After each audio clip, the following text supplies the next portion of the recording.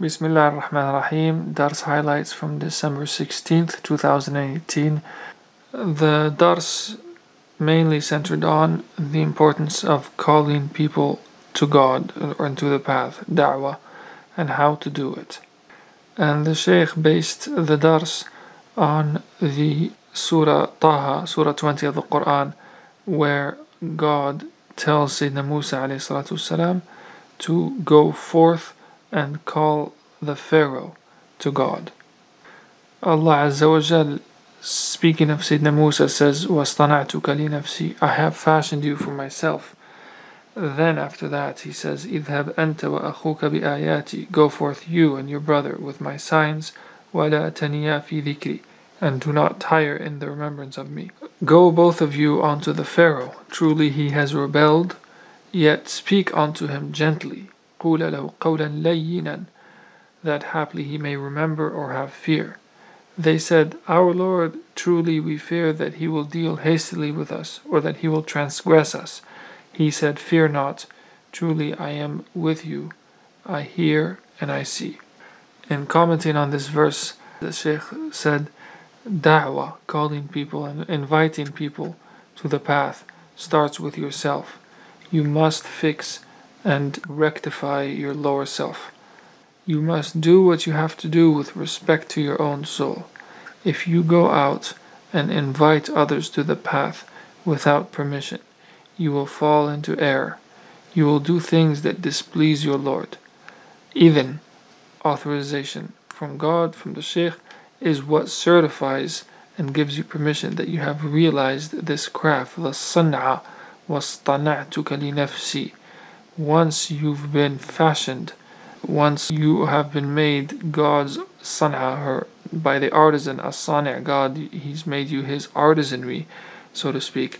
Once you've realized this state of being a God's artisanry, and you're in conformity to the divine design, then you have idhn or permission to go out and call to the path and invite others. With idhn with authorization, then you go to others and invite them. The beginning of the path consists of effort and exertion upon yourself until your eyes, your hands, your ears, your mouth, your feet become light, just as described in the hadith of Al Wali or Hadith al Nawafil. Then, when you receive an order from the Shaykh, you must execute it, and that order must be affirmed by the Shaykh, even if it's from God and from the Prophet ﷺ, you pass through the Shaykh's idhn, the Shaykh's permission. And on the contrary, if the Shaykh orders you and you have no signs from God and the Prophet ﷺ, he's the one who takes responsibility and you carry out what he asks of you. The problem is that the murid tends to do what we don't ask them to do and what we do ask of them, they don't do it. The one we don't ask to do da'wah goes out and invites others to the path. The ones we tell to stop speaking and stop opening their mouths are the ones who speak the most. As for the ones that we go to and say, go do da'wah, go call and invite people to the path, they cling to their corner and they refuse to leave. Allah Azza wa Jal says, اذهب أنت وأخوك بآياتي Go you and your brother with my signs. Go with my sign. Transmit this light. Make people love it and make people drawn to it. And explain it to others. اذهبا إلى فرعون إنه طغى. Go to the Pharaoh, he has transgressed. The head, the chief, the arch unbeliever, the arch heretic, Fir'aun, the one who claims lordship for himself. Da'wah is first and foremost addressed to the unbeliever. The submitter, the Muslim today, that's not the first and foremost target of da'wah. It's a polytheist, an unbeliever. One should not be focusing on calling those in a state of submission, a state of Islam, who already affirm the Shahada. Because doing da'wah of that sort, it devolves into debates over minor points of very secondary importance. Instead of bringing people out from the depths of darkness into the light, Da'wah becomes a source of fraction and of argument. The priority, therefore, of inviting others to the path is to do so to the ones who are furthest from Islam. Another point that's important to mention is that when Musa and Harun alayhim when they called Fir'aun, when they invited him to God, uh, the, it was in private. It was not in front of everyone. They didn't humiliate him in front of his people. This would not be constructive. Inviting others to the path is thus done and conducted with wisdom. They are sent to Fir'aun because he transgressed all the limits. Tagha. He called people by force unto unbelief, forcing his people to perdition. This is why Musa and Harun were sent to him specifically. If he were just an ordinary unbeliever or an idol worshipper who doesn't force people to his path, Musa and Harun salam would not be sent to him specifically When a Muslim calls another Muslim to the path or does da'wah to another Muslim, that's just advice. It's nasiha. True da'wah is addressed to someone who is outside of Islam. فَقُولَ لَهُ قَوْلًا لَيِّنًا Speak to him gently. Speak to this bloody tyrant softly and gently. If this is how you're told to speak to Fir'aun, what are we to say of the manner in which you should speak to your Muslim brother? Softly, in a way that will touch the heart, with a tone of giving advice or nasiha to someone in error, perhaps. This all has to be in private, otherwise, you're causing humiliation. لعله يتذكر أو يخشى that he hopefully may remember or fear God. Speak softly, hopefully that he may remember. Fir'aun knew deep down that he was in error. He knows the truth. when you speak to people about the light, about Nurullah, people already know it. You're not bringing something new to them. The masses, the unbelievers, people know and recognize it by virtue of Alastu bi Rabbikum qalu by virtue of the day of Alastu, when all of humanity affirmed God's lordship. So when we tell you to invite others to the path, the first question that you ask is where are you yourself vis-a-vis your own quest and realization of divine oneness or tawheed? Have you attained what you should attain? Then go to your brother. And when you go, don't go alone. Go to Fir'aun with a partner. Idhab anta wa akhuk, go with your brother, your mirror. The believer is the mirror of the believer. Al mu'minu mir'atu akhih. The believer is the mirror of his brother. You go with your brother instead of wasting time on fatwas or minor debates and splintering issues, instead of delving into matters where more competent people than you are already engaged in the debate. Busy yourself in, with a realm that's open to everyone. Engage in calling people to the light of God in legal jurisprudence, everything has been oh. ironed out in the greatest detail. So throw yourself or busy yourself to call people to the light of God, call people to the love of sheikhs, to the love of the Prophet's family, Ahlul Bayt. Call onto the message of Nur, which is in your heart, which you see with your own eyes. And remember that one person guided through you is greater than everything upon which the sun shines. If you, if you abandon this obligation of inviting others to the path, and then you just return to where you were. You return to your ghafla, to your state of heedlessness.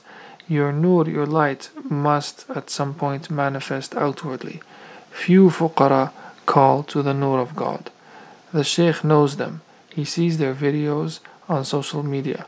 Most of the fuqara do nothing and those who do something engage in futile debates and disputes among the fuqara. And in our case, go with your brother or go with your partner on da'wah. This means to follow the example of Sayyidina Harun and Sayyidina Musa is to learn from the books of the Sufi tradition, to draw from the dead. May God bless them. And the nur is in your heart. You can use the sources of the great books written by the Sufi masters in order to draw links between the Sufi tradition and what's lived in the Karkariya. However, the nur in your heart is drawn or taken from someone who's alive, from the Sheikh, and those books you take from people who are dead, and you do not abandon the living for the dead. You go to Fir'aun with a partner, you call on to Fir'aun with a companion with a knowledge of the principles of the path and supports and scriptural texts and so on. You speak to those who want to destroy the tariqah softly, the enemies of the path who oppose it, who criticize the subha, wearing the rosary, criticize the hadra, criticize the darbala, the patched cloak. They criticize even the concept of wayfaring and the way we explain the readings of the divine name in our path. These are the ones that you go to and speak to softly Instead of refuting these, however, most murids stay silent and prefer to fight with each other or dispute and debate over futile and secondary debates. And so, those who insult you in a virulent manner on Facebook, you may block them because you can't respond to them, or you think that they're hopeless, or you fear that you'll fall into a bad adab with them. That is, you see clearly that you're unable to speak to them with qawlan layyinan in a soft manner, and at that moment you know that you're not ready to do da'wah, to call others unto God, and so you have to go back and work on your own state. So the attitude that the Shaykh has towards his murids, when he reproaches them, when he reprimands them and educates them and edifies them and so on, that's one between the Shaykh and his disciples. You don't extend that attitude from the disciples outwardly into the realm outside of the tariqah or even towards each other. You speak to others and towards each other with qawlan layyinan. You do not have the right to copy the Shaykh in the way he reproaches his murids.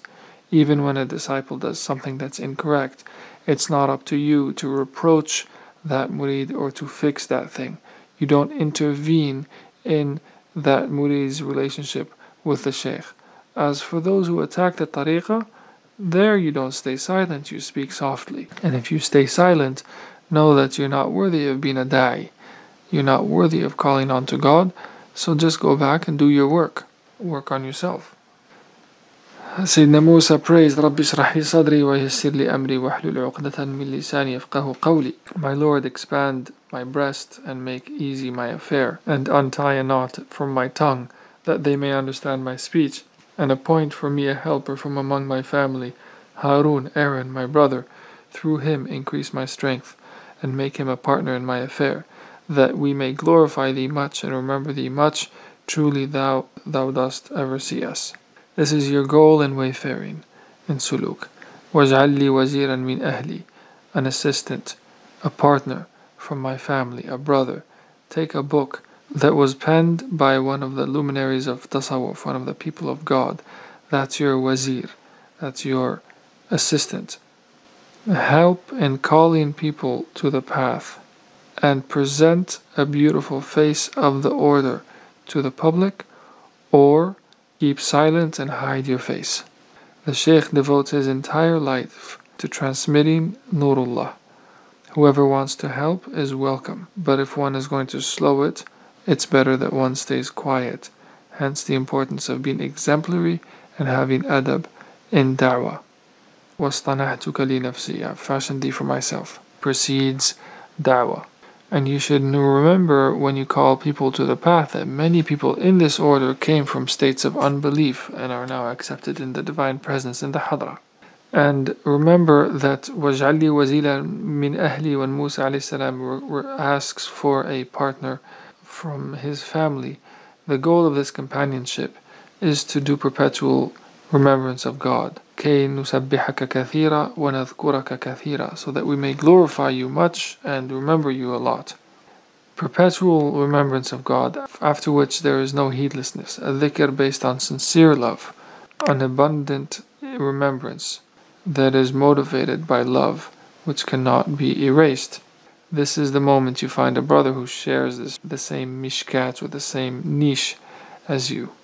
Then the Shaykh narrates the story where Sayyidina Musa والسلام, withdraws into his retreat and leaves Sayyidina Harun in charge of the community, and one of his disciples, As-Samiri the Samaritan, builds a golden calf and he tells the community, Here is your God and the God of Musa. what does the wazir, the partner in calling unto God, Musa's partner, what does he do in that situation? Sayyidina Musa returns angrily to Sayyidina Harun, and Sayyidina Musa seizes the beard of his brother. And the brother says, Do not seize my beard or my head. I feared that you would say that you've caused division among the children of Israel. إني خشيت أن تقول فرقت بين بني إسرائيل. I feared, in other words, the partner says, Sayyidina Harun says, I feared that you would accuse me of dividing the people of Israel. Sayyidina Harun himself is a prophet, but he preferred to leave his community of the people united in a state of misguidance and to wait for the return of the Sheikh of Sayyidina Musa salam, who was in the place and had the authority to reprimand and to correct everyone for what they had done because Sayyidina Harun realizes that that was not his function, it was not his role. And if he were to do that, if he were to take on that function, he would divide the community, and that would have catastrophic consequences. And this he tied to the fact that murids should not be involved in reprimanding each other. They should leave that to the sheikh. And the sheikh tied this theme with criticisms that certain male fuqara leveled against female faqirat who are very active in da'wah online and they have a lot of videos where they either teach or they, they have uh, chants of the Sheikh's diwan and so on.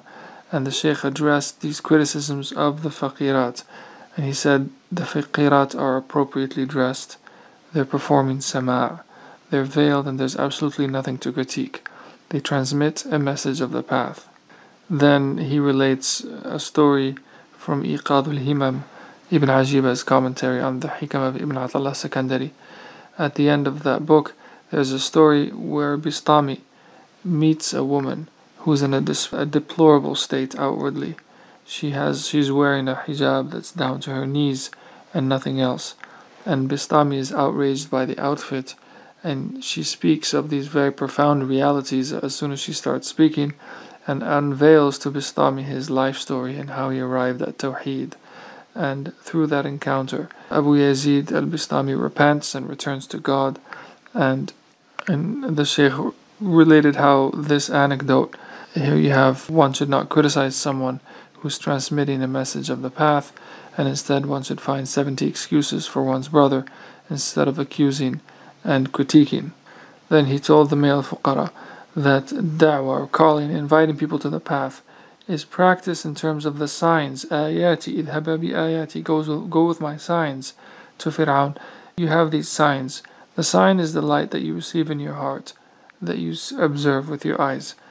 And instead of transmitting this, he tells the male fuqara, you're ashamed and you prefer to hide. As for the women in the tariqah, they've been more active on this front and more successful and more important and he cited the example of the zawiyas in Tunisia, which received the tariqah. The tariqah entered into Tunisia through a woman. She did all of the administrative work to make the tariqah official and accepted in the country, and through her many have entered into the path, and through her many see Nurullah. The same goes for Oujda, a town in northern Morocco. A woman opened her house and donated it to the tariqah so that it became a gathering place, a majma, for regular majalis. And he said the role of women in this path is not negligible.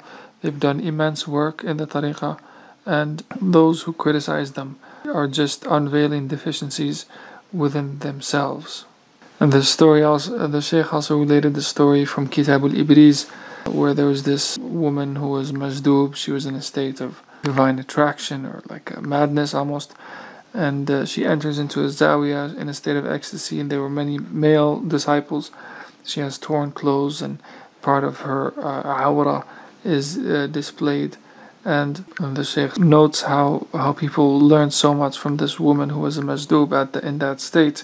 He says, as for saying that a woman's voice is a awra, he says, just return to the seerah, return to the sunnah. Look at the ones who received the Prophet ﷺ in Medina these were singing women celebrating his arrival, singing Tala al Badru Alayna, a song that we sang we sing to this day. He said, Read the books of the Sirah, see if they were veiled and tucked away. Read about how they presented themselves, these women, Read about how Sayyidah Aisha, who transmitted countless ahadith throughout her life in areas pertaining to relationships, conjugal relations, intimacy, and so on, to men. The problem is we have men with Wahhabi hearts who hope to see God's light, and this is impossible. What is exterior has to be interiorized, and what's interior has to be exteriorized. Then the Sheikh said that da'wah in previous ages, times of uh, the past, was an obligation upon the turuq. People like Ibn Ajiba would go out with drums into the towns, calling people to the path. You can read his biography to see how he did it. He said today it's done largely through social media, and the Sheikh doesn't know how to work how that works. That's a knowledge that you know, O, o disciples, but you refuse to use it in order to please God, and you prefer to use it for futile ends. The, that work rests on you. In our age, this is how calling people to God occurs. You reprimand the fuqara from disciple to disciple, and if you keep doing that, you'll finally reprimand your sheikh and even call him out.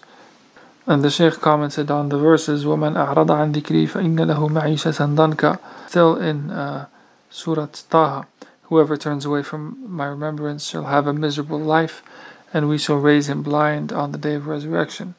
He will say, My Lord, why did you raise me blind when I used to see? And he will say, Thus it is, our signs came to you, but you forgot them. Even so, this day shall you be forgotten. And the Shaykh says, The divine light, and Nur, is the sign. You received it, and yet you look for something else. You speak about other things.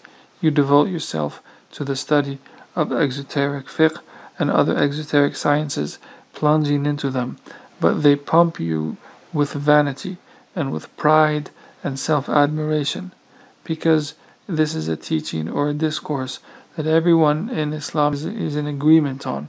Instead of speaking about signs that single you out and make you different and may expose you to criticism, you pose as an expert in the law.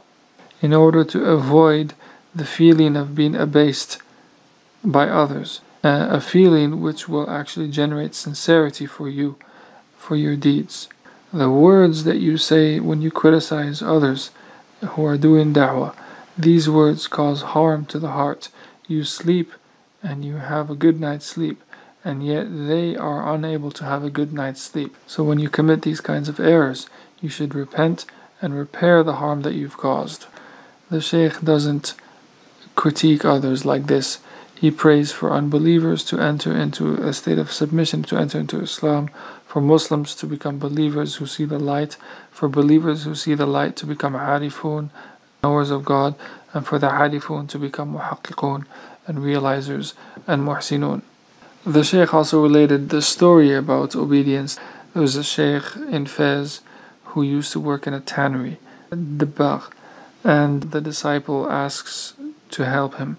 So the Shaykh says, Sure, take off your turban and shoes so you can come enter into this uh, place where you step into almost like a hole with dye to work on the leather. And later years passed and the Shaykh died, and this, the disciple, to the day of his death, remained with his head uncovered and barefooted. And when he would ask why, he would say, Because the Shaykh didn't tell me to take, he told me to take them off, but he never told me to put them on. This, uh, this murid, he never said to himself, Well, perhaps the Shaykh's statement was only applicable when he was helping him with the leather, or perhaps he forgot to tell me to put them back on. These would be logical answers, but the murid gave importance and had ta'zeem of the Shaykh's words. What are we to say of those murids who are told by the Shaykh to wear a pat's cloak at Darbala and to call others unto God, and yet they hide? What do you have to hide? Our path is in conformity with the way of the awliya of the previous ages. The Shaykh wants people like a Zarruq or a Ghazali who are steeped in studies, outward legal studies, who taste the path and abandon that domain of the Zahir, the outward domain, and are melted in the Batin, in the esoteric sciences, and their works are based in Batin.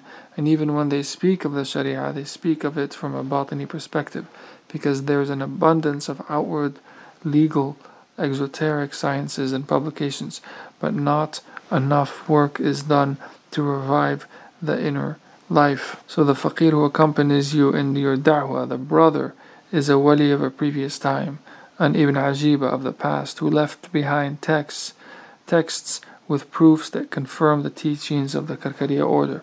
This is your brother to do da'wah with clear texts of the people of God. And so you can justify and valorize the tariqah by anchoring your calling, your da'wah in these texts. Many, for instance, deny the possibility of vision of divine light. So, one thing one can do is to bring out these texts of the early awliya that prove the visibility of Nurullah. The teachings of light and the interior life are rare in our age. They've almost completely disappeared. They must be revived. This is in contrast to the outward law, where there's a lot of discourse, a lot of discussions of how to pray, how to make wudu, and this and that. But the importance of reviving and revealing the tariqah with clear proof texts and making links between what happens experientially in the order and what the great Sufis of the past used to teach is a very important part of calling people to the path. And you do it with qawlan layyinan, softly, even to those who want to harm you. And then Musa and Harun, they, they express fear that the Pharaoh will deal hastily with us, يَفْرُطَ عَلَيْنَا أو أن يطغى, or that he'll transgress. And then God responds, the Lord responds by saying, Fear not, truly I am with you wherever you are, I hear and I see. You've tasted this divine presence through the sir, and you know that He's with you wherever you are. اللهم صل على سيدنا محمد وعلى آل سيدنا محمد كما صليت على سيدنا إبراهيم وعلى آل سيدنا إبراهيم وبارك على سيدنا محمد وعلى آل سيدنا محمد كما باركت على سيدنا إبراهيم وعلى آل سيدنا إبراهيم في العالمين إنك حميد مجيد